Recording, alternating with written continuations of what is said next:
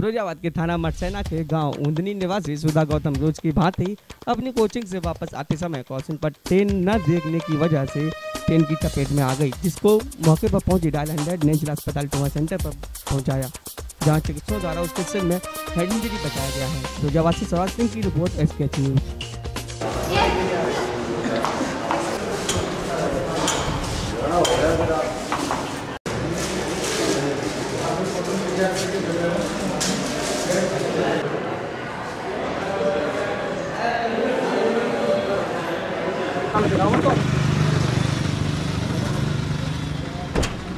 ये तुम्हारा मक्खनपुर जो स्टेशन है इस पे जो है एक लड़की का जो है एक्सीडेंट हो गया ट्रेन से। अब वो गिर गई है कैसे हुआ है? हेड इंजरी हुई है उसके।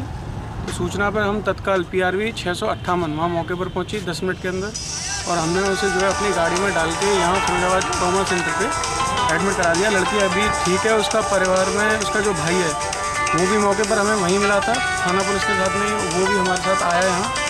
और अब उसके सब घर वाले मौजूद हैं। लड़की भी अभी ठीक है उसका इलाज चल रहा है। तो कहाँ जा रही थी लड़की? ये अभी हमें कुछ मालूम स्कूल से पढ़ के आ रही थी हमें बस सूचना मिली है कि लड़की इंजर्ड थी वो स्कूल से पढ़ कौन सा स्कूल था सर वो?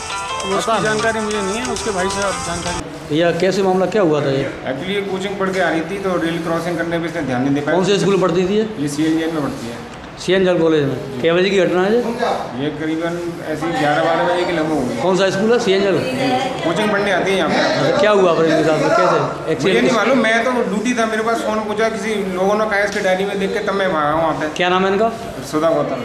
सुधा गौतम। कहाँ की रहने वाली है? ये मटसेना थाने की। गाँव कौन सा है? गाँव? ऊंदरी ऊंदनी